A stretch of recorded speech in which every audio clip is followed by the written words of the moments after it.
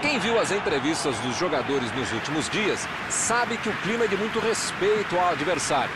Mas ninguém abre mão da vitória no dia de hoje. Tomara que essa vontade de vencer se traduza em muitos gols. Uma bela visão este estádio, um dos mais impressionantes desta região. Uma formação ofensiva, com quatro na defesa, três homens no meio e três atacantes.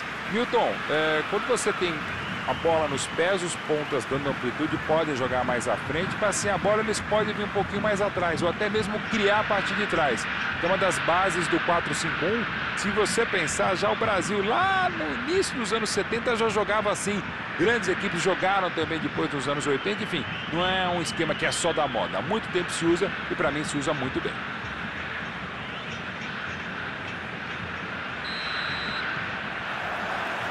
Começa o jogo.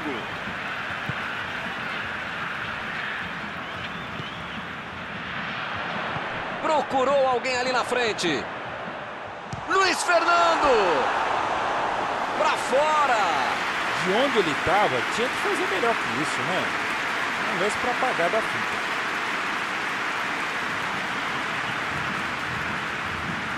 Samuel Xavier. Ganso.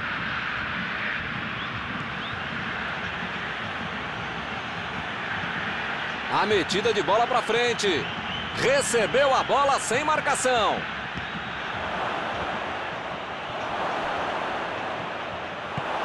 A defesa tira o perigo dali. Lá vem eles de novo. Abriu o jogo lá na direita. Bola enfiada entre a marcação. Chegou para isolar a bola, estava passeando ali pela defesa.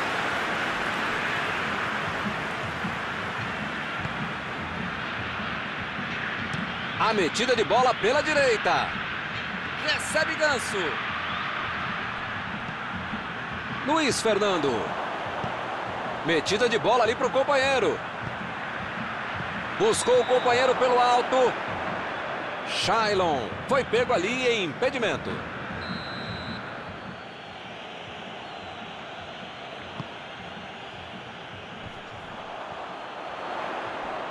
Silva estava bem colocado, cortou a bola. Ganso.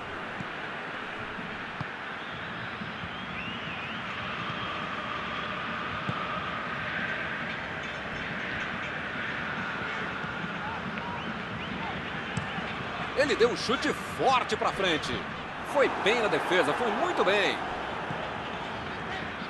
Tentou o passe. A posição é muito boa. Acertaram ele ali na área. Pênalti. Tudo que o time menos precisava era um pênalti para o adversário.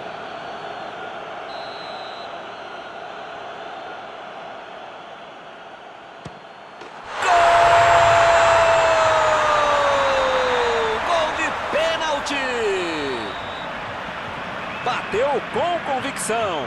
É o famoso pênalti que o goleiro não sai nem na foto. Bela cobrança. Caminho aberto. 1 a 0. Com a vantagem no placar, jogou a pressão para o outro lado. Precisa manter o ritmo até o final. A metida de bola. Tentou tirar, mas ainda tem perigo na área. Renato Augusto. Essa foi um verdadeiro presente para o goleiro. Boa defesa, mas o cara dá para dizer que perdeu o gol. Acabou a primeira parte do jogo.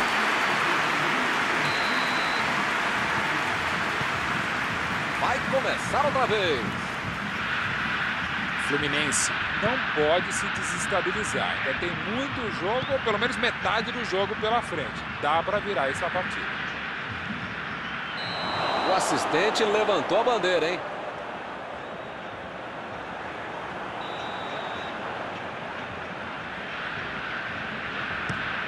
Mandou um balão lá pra frente.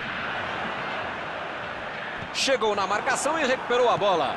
Agora é com Ganso. Renato Augusto. Passou pelo marcador.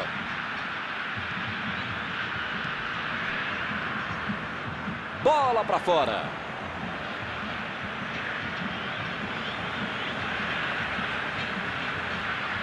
Olha o drible. E ele tenta afastar o perigo. Lançamento por entre a defesa.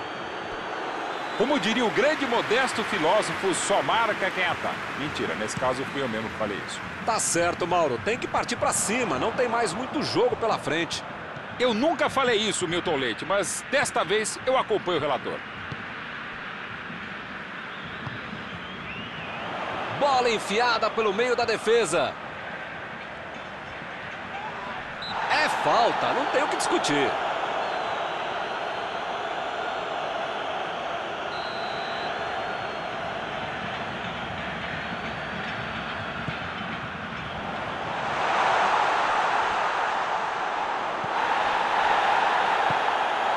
Meteu a bola ali na ponta. Teremos arremesso lateral.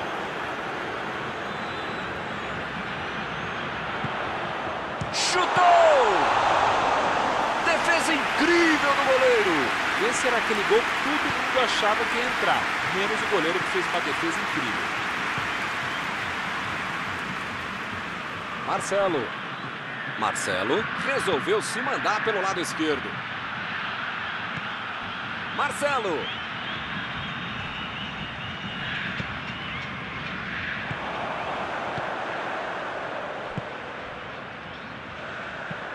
Metida de bola por cima. E ele recebe em boa posição na ponta. Passe para frente. Vem o passe. Vem a batida. Da defesa. Esse tipo de bola enfiada é sensacional. A conclusão é que estava bem longe disso.